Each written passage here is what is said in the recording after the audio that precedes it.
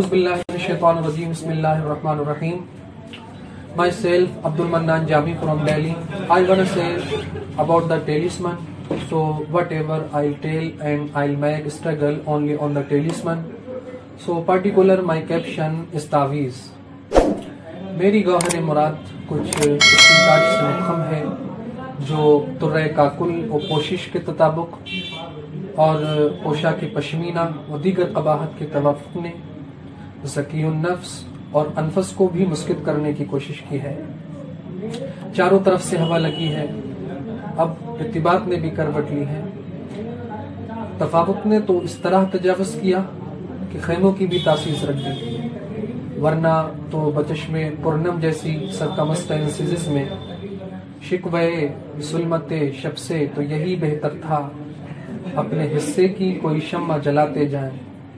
कभी चराग कभी तीरगी से हार गए, जो बेशूर थे वो हर किसी से हार गए।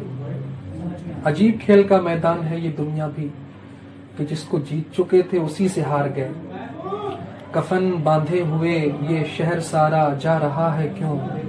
सुए मक्तल ही हर रास्ता हमारा जा रहा है क्यों? मुसलसल कत्ल होने में भी वक्फा ज़रूरी है। सरे मक्तल हमी को फिर पुकारा जा रहा है क्यों? सागर की पुरशिकवा लहरों की सनसनाहट ये खुलकर बताना चाहती है कि अब रात का दूसरा पहर आने वाला है। सारे परिंदे खामोश हो गए।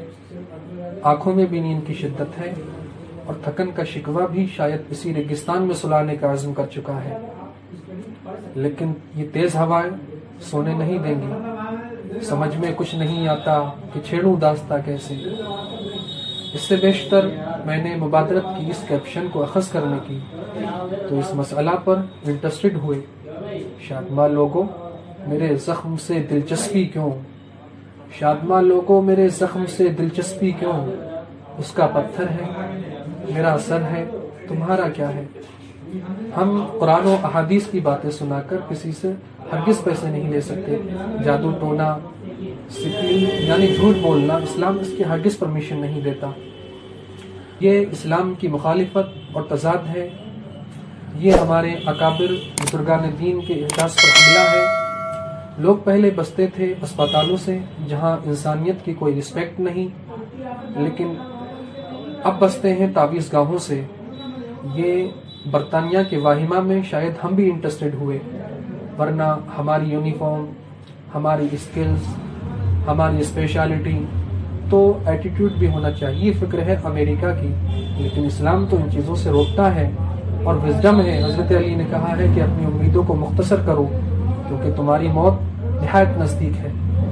हज़रत अली ने कहा है कि आदमी को पता भी नहीं चलता, उसका कफन बाज़ार में आ जाता है। इस्लाम अदालत और फांसी से नहीं रोकता।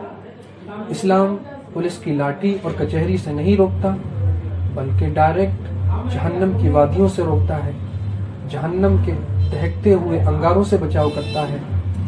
हम उनको समझा भी नहीं सकते। हज़रत अली ने कहा है, बदबख्त हमेशा अजमत व हमत की बातों से बिदकते हैं।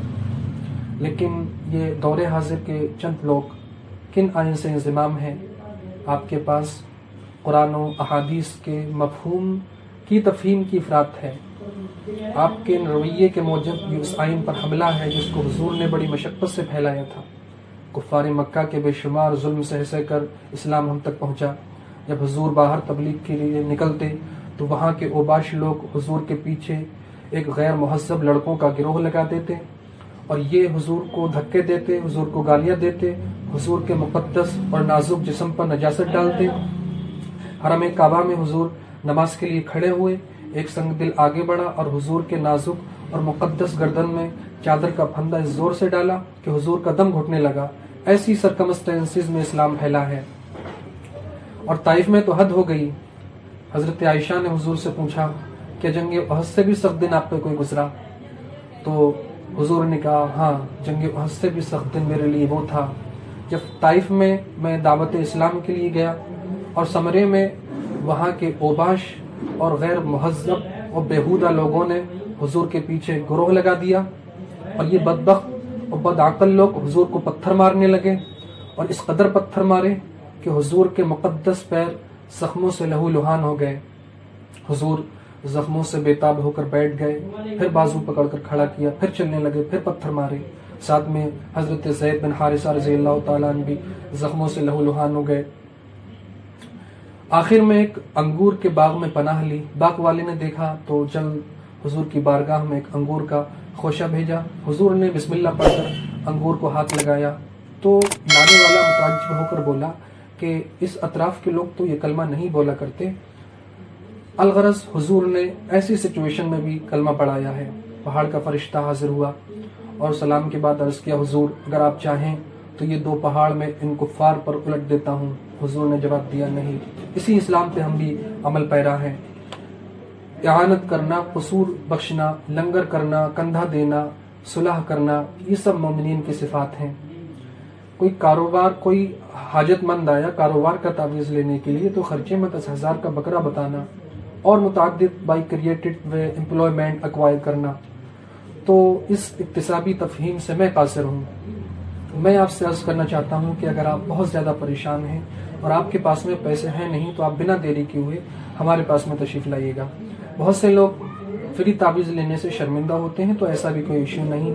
बहुत से लोग अनएजुकेटेड होते हैं बात करने में हेजिटेशन होती है बिटवीन कन्वर्सेशन तो ऐसा भी कोई इशू नहीं। ये कोई सरकारी हॉस्पिटल डिफ्रेंशिएटेड कम्युनिटी ये कोई पॉलिटिशियन दफ्तर नहीं। यहाँ तो इंसानियत की रिस्पेक्ट की जाती है।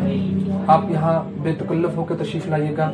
और आखिर में प्रोमिनेशन है, आप हमारे यहाँ जहाँ से तावीज़ लेंगे वहाँ एक इंटरेक्शन नंबर होगा।